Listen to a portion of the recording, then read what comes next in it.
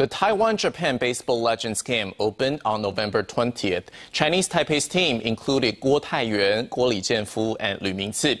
Japan's Yomiuri Giants team was led by baseball great Sadaharu Oh. Although Chinese Taipei held the lead starting in the fourth inning, the game was turned around in the ninth inning.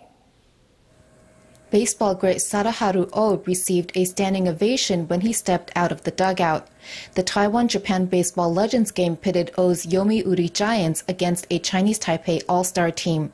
This was the first overseas friendly game in the Giants' 82 year history and has been a half a century since O played a game in Taichung.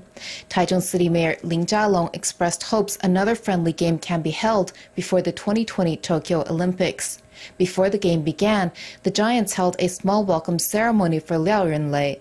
Liao, who will play in Japan next season, was presented with and donned a number 97 jersey.